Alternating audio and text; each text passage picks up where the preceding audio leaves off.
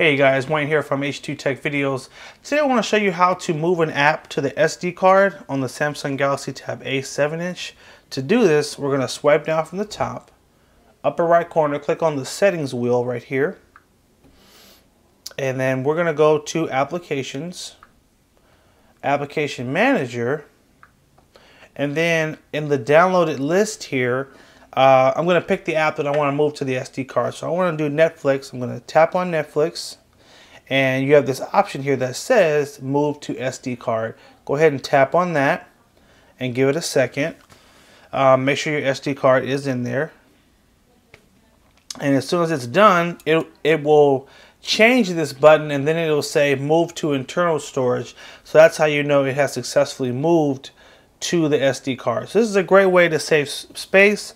Obviously, this tablet doesn't have a ton of storage on it. Uh, they believe it only has about 8 gigs, and, and the user availability, you don't even get that much.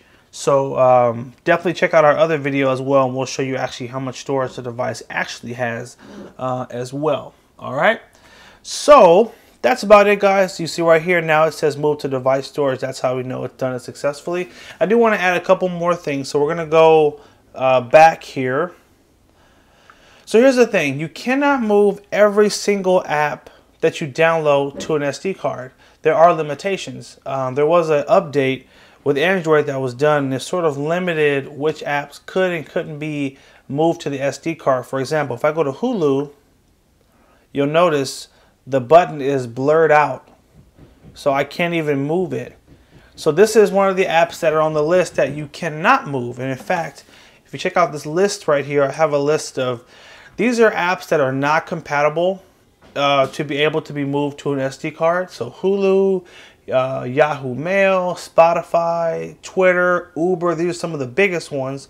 However, on this page, I have a list of all the really popular apps that are compatible. So your Facebook, your Snapchat, your Netflix, your Candy Crush, all these apps can be moved, even Pokemon Go and Subway Surfer.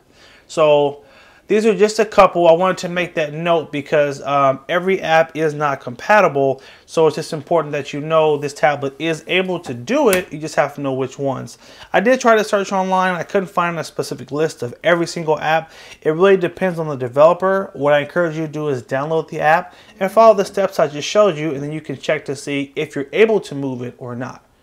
Anyway, guys, I hope you did find this video helpful. Make sure you like, favorite, and share the video if you did find it helpful. Make sure you also subscribe to H2 Tech videos, and have a good one.